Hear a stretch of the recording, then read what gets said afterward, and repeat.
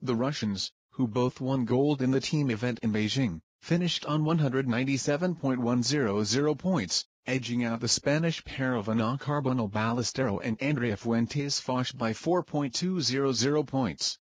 China with Liu Ou and Huang Xuechen took bronze with 192.870 points. Spanish coach Anna Tarrés Camps said that her team worked well with the Russians. There is a very good relationship with them. They liked our choreography. It's a very sane rivalry. We are working together to develop further this sport.